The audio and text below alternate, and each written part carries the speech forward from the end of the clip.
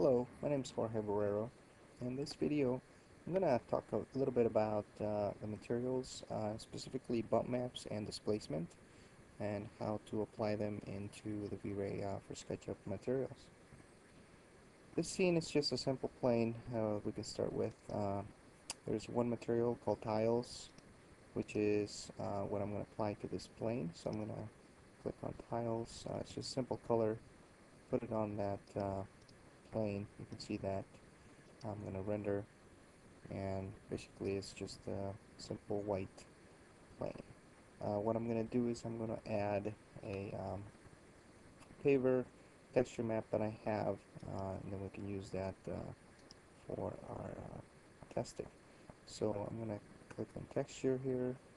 Uh, I'm going to add, go back to the folder, map, and I can try this uh, stone paving. I think works uh, pretty good. There it is. Seems to be not too bad of a size. Um, I can make it a little bit bigger uh, just to kind of see the effect a little bit better. So there's the, um, the tile uh, I guess the paving pattern. Uh, when I render that you can see uh, it's pretty straightforward.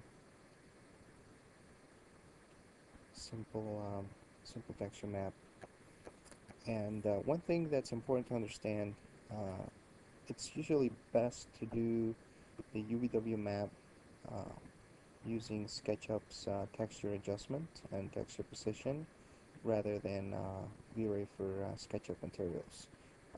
it's easier, visually you can see it, and it will automatically translate into the V-Ray for SketchUp materials. So you can see the texture map starting to render here. I can probably just stop it. Um, but um, you can see it, you know, it, it looks as uh, I would expect.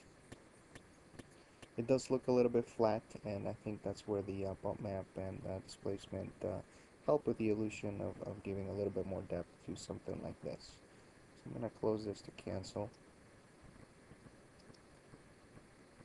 I'm going to open the V-Ray material editor uh, there's my tiles. I'm going to update the preview with my texture. Uh, you can see it there. To add a bump map, uh, simply what I have to do is open up my maps uh, menu here and you can see there's bump and there's displacement. Uh, the place for the texture maps is grayed out uh, because they're not enabled.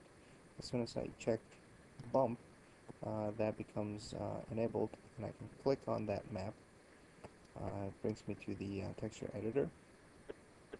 Right now we have nothing selected as a texture, so under type I'm going to select the bitmap. And under bitmap I'm going to click on file, uh, the small m here, to prompt me to pick a uh, bump map, texture map. So I'm going to go to uh, folder, and here's a stone paving uh, bump open. I can update that and see what it looks like. Uh, essentially a grayscale version of the uh, texture map that we have. I don't have to touch any of this, uh, the UVW transform, uh, because it's going to read essentially the existing UVW uh, map information from uh, how we position our texture in SketchUp. So all I have to do is just apply the um, texture itself uh, bump is enabled.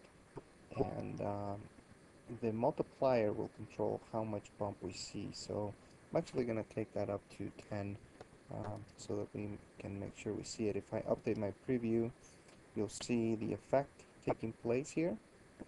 Uh, you can see how it's actually pretty pronounced.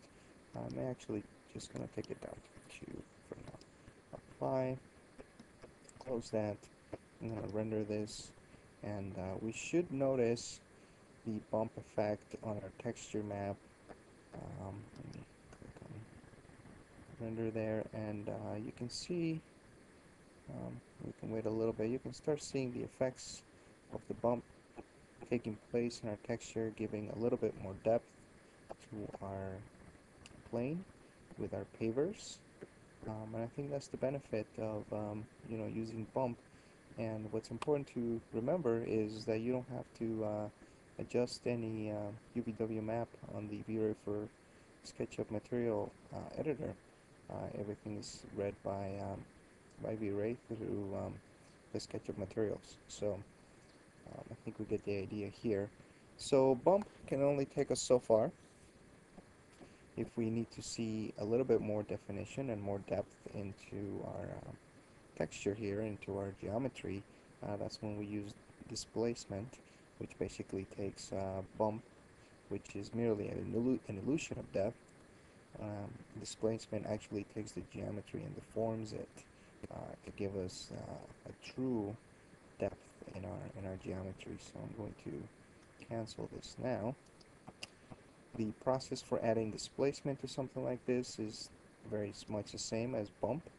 Uh, basically, you just turn displacement on, click on the M for textures for the maps. Uh, under type, I'm going to select bitmap, and under bitmap, I'm going to click on file and pick up the same uh, bump map, uh, which should work for now. Click open, uh, take a look at it, make sure I got the right one, and uh, pretty much it. Uh, multiplier again um, determines how much displacement. Um, I can take that probably to around 5 for now, make sure we have enough.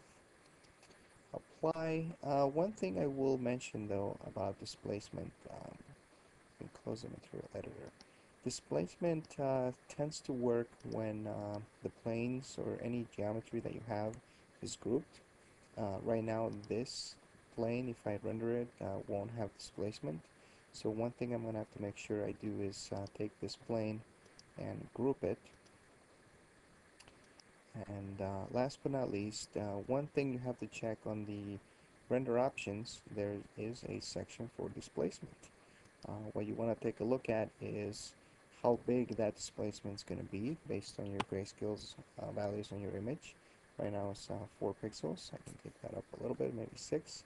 Uh, subdivisions, uh, it's the subdivisions for the entire plane. Right now, um, 256 should be enough for our test. Um, you don't really want to take this too high because it will slow down your rendering. Uh, it's probably better to keep this number low and subdivide your geometry rather than increase this and keep one large plane or in reality two large polygon triangles. Uh, and the amount also um, affects how much displacement we're going to get. So let me uh, render this and see if we can get some displacement. And in the preview, uh, radiance map, you can already see um, our geometry is changing. Uh, we're going to get nice displacement on this image, probably a little bit more than what we need, but um, I really want to illustrate uh, the effect so that you have a good comparison between bump and displacement, uh, the difference in render times, as well as uh, the difference in uh, the effect of the final product. Uh, displacement is pretty popular for rendering grass and also you know things that are somewhat organic in nature like rock walls or things things like that. So, but um, we'll let this finish. You can see the render times actually are uh, substantially slower compared to no bump uh, and even some bump. So what I will recommend is uh, when you use displacement, use it sparingly, use it on smaller areas or at a distance when you have a lot of displacement on a scene. it can really take a lot of memory, a lot of time. So, but uh, the effects are pretty fantastic. Uh, so we'll let this run and then we'll get take a peek at a little bit of displacement going on. So, okay, so here's the final result of the uh, displacement rendering. Um, render time was about 12 minutes, so you can see there's a significant increase uh, when you use displacement, but you can see the results and how the geometry is being deformed. So, thanks.